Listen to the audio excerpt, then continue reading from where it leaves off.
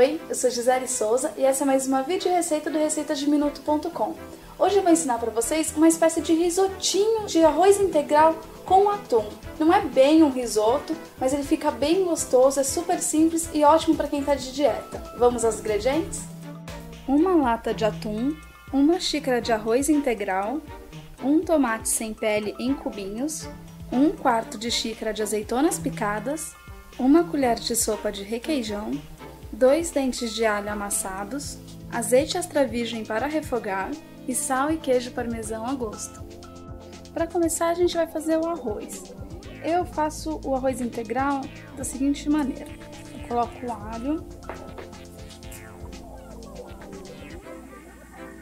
e uma colher de sopa de água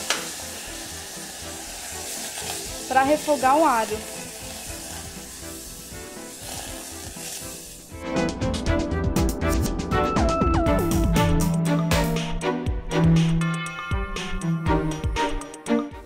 Refogo ele bem de leve, sem deixar ele queimar. E já junto o meu arroz integral. Eu não lavo ele, tá?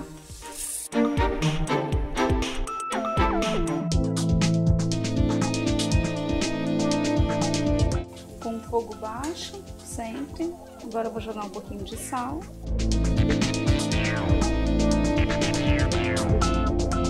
E vou adicionar 3 xícaras de água. O arroz comum geralmente é uma xícara para cada duas. O arroz integral ele demora um pouco mais para cozinhar, então vou colocar 3 xícaras e se precisar vou colocando mais. Agora eu vou aumentar um pouquinho o fogo, vou deixar ele em fogo médio até secar a água, aí eu vou experimentar para ver se ele tá bom. Bom, passaram 20 minutinhos, o meu arroz ele já ficou pronto. Já experimentei, ele ficou bem macio. Não foi preciso adicionar mais água, mas dependendo da marca que você comprar, é bom dar uma experimentadinha se precisar tá colocando mais e deixar até secar a água. Agora eu vou preparar o refogado para juntar com o nosso arroz. Bom, o primeiro passo é colocar um pouquinho de azeite para refogar e adicionar o tomate.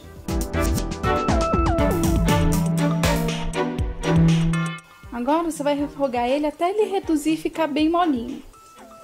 Ele já ficou bem molinho.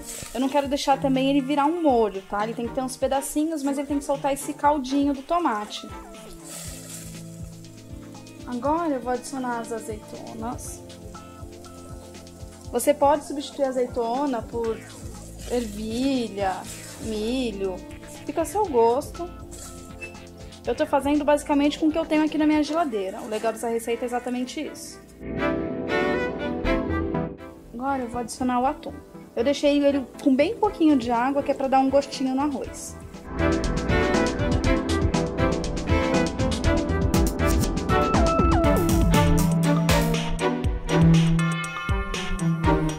Agora eu vou adicionando o arroz. Você pode fazer com sobras de arroz também, tá? Não precisa ser integral, não.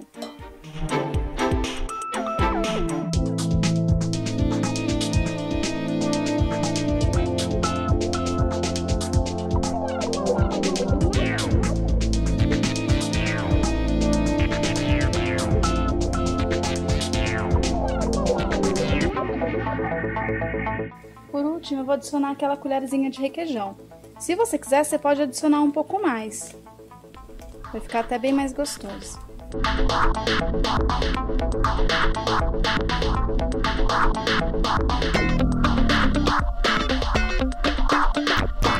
Tá pronto, agora é só colocar no prato e servir. E aí, gostou da receita de hoje? Então passa lá no blog para pegar a receita completa e dicas super importantes. E você também pode mandar a sua receita. E não se esqueça de se inscrever no canal, adicionar aos favoritos e dar um joinha. Até a próxima!